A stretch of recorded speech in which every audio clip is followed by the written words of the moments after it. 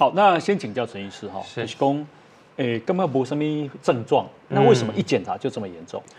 就是因为没症状才会一检查才会这么的严重，因为呢，我们都知道肠胃道的一些相关的癌症其实是非常难察觉的，就算有症状，很多人自己会先把它处理掉，或认为是什么问题，尤其是肠胃道，很多都觉得消化不良、胃胀气、胃食道逆流。的一个小问题，微博机就买天啊吧？，对啊，有些人会大大号的时候也会有什么异望？对但是有些人会把它觉得这个就是正常的肠胃可能吃坏肚子，哦。很多人常常都把它认为是别的东西，而且现在随手可以去药房里面买得到一些成药，针对对胃的部分，而且是我们现在目前台湾销售最好的一个药品之一，就是胃药，随时都可以买得到，所以每个人都有症状，所以不管是胃癌或者是胃食道逆流导致的食道癌，我们都知道之前也有一群五十几岁的壮年的这些呃商业人士，都是因为食道癌走掉，或者是演艺圈里面食道癌走，他们都没有症状，因为在这个附近真的都不会有，就算他有，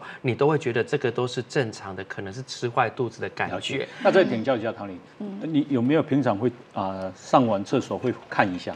会啊，我那都好好的吗？好好的啊，没事啊。会掉那根啊，哎，可是就正常啦，就是没有什么哦特殊的状况啊。哇，这样子啊，对啊也不会胃痛啊，不会啊哎，通常我我后来知道他胃口也都一样哦。好的不得了你。有胃食道逆流的现象吗？我后来想一想，好像在我戒烟的那一段时间是有的。啊我我戒烟六年嘛，那我在六年前那个时候刚戒烟的时候，就是有一点觉得，嗯，胃好像有一点怪怪的。嗯嗯，那你为什我还是么要戒烟？我就是因为我抽长期抽烟，从高中二年级抽到六年前，从来没有一天断过，啊然后每天抽大量的烟。高中就开始抽了，对高二啊？对，我有重度上瘾。哪个学校可以高二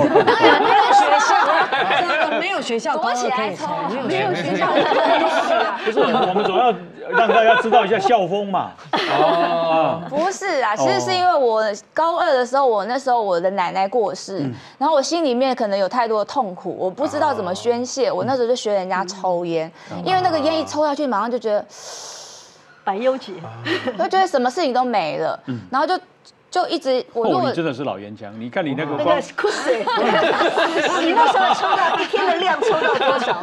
我一天至少要抽一包，少则一包，多则两包，哇从来没有停过假哦。金婚哦，不是假结婚。今天哦，一就抽到里面绕一圈再出来哦那。你有办法弄圈圈吗？我不会，我不会，没办法弄圈圈，也也没办法从鼻子喷出来，这个没练。所以其实你的危害因子或危险因子是非常的高的。第一个就是你抽烟超过十年以上，第二我们早就知道你有胃溃疡。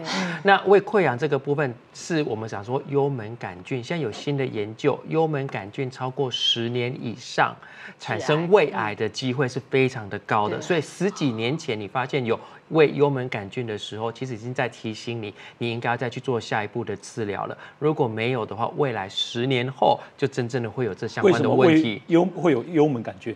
我们有时候会发现有些病菌。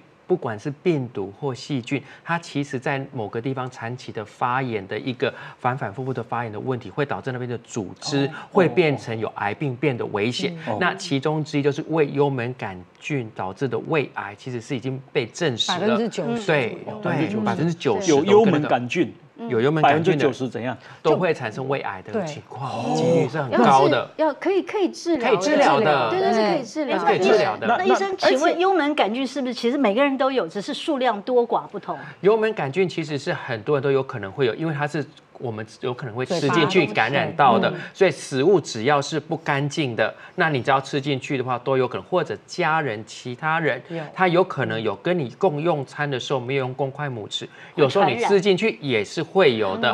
那当然你吃进去之后，我们当然有标准的治疗，可是我们在治疗的时候通常会警告你一件事情：细菌现在被杀死，并不代表你不会再被感染，嗯，因为它是在里面的量结束了，可是它有可能再进来，所以要特别去注意一下，胃幽门杆菌有得的人一定要去做治疗，治疗完之后还要再确定你周遭的人不会再传染给其实还是要。说明一下，不是说得胃幽门螺旋杆菌的人百分之九十一定会胃癌，而是说他们统计有胃癌的人去90%百分之九十是有胃幽门杆菌，对。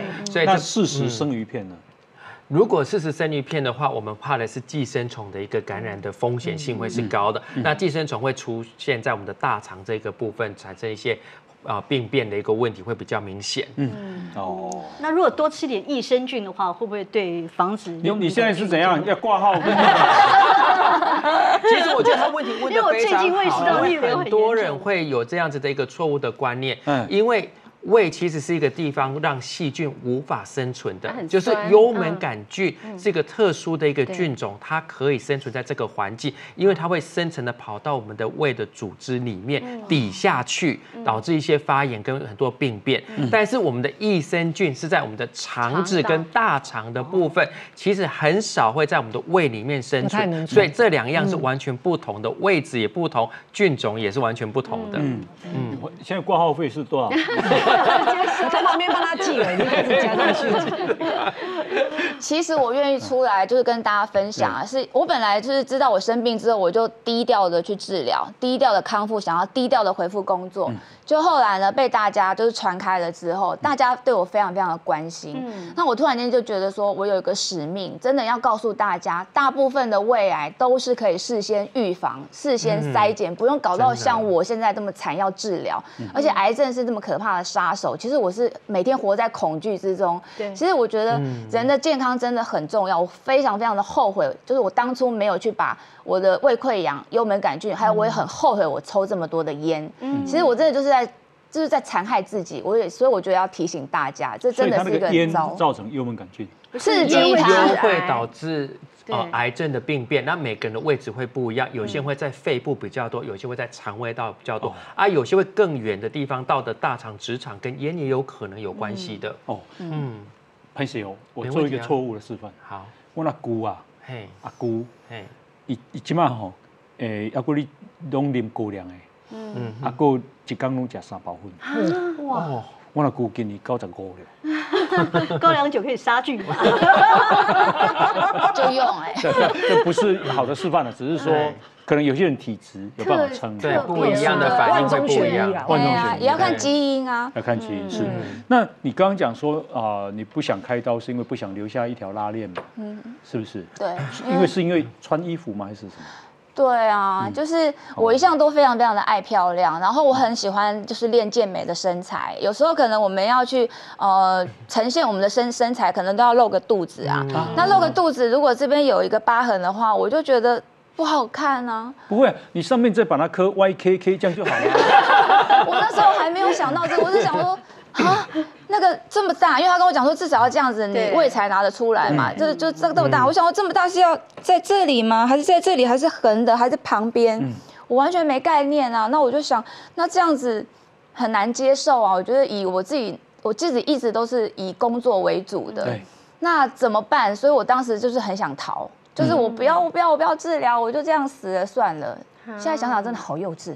嗯，那你后来是找到了啊一个医生，然后啊这个没不会帮你留疤痕的吗？其实我其实我觉得我真的很感谢，很感谢就是身边的人，就是他嗯，我自己只有一个人，所以其实我得我生病的时候，我也是整个就是就是很彷徨。那那个时候我就跟我的没有家人支持，没有，因为我我爸爸跟我妈妈都过世，而且不久之前，然后我就一个人，然后我就想说我要跟谁讨论。那我因为我有教会，所以我就跟宋达明牧师跟百荣师母，就是他们刚好约我约谈，因为他们都要关心一下我们组员的这些情感的现状。然后那个时候他就想了解一下我的情感现状跟家庭现状，我们就聊天嘛。那聊一聊之后，我就我就突然间讲说，其实这些都不重要，现在最重要的是我的肚子里面有个胃癌，嗯。然后我不知道怎么办。那他们就带我去找肠胃科医师，他们的肠胃科医师，然后就帮我评估，然后介绍了一个医师，叫做就是在北医的医师，嗯，然后他对胃的胃胃癌的那个手术非常的精通，嗯哼。所以我就去找他，叫什么大名？叫王伟，就是你要什么切胃啊、缩胃啦，然后什么绑把胃什么挖割胃绕道啦，什么什么那些。对对对，他对胃很熟，然后所以他也可以很精准的把那个胃癌割掉。你你念头有闪过说你可能生命就此结束吗？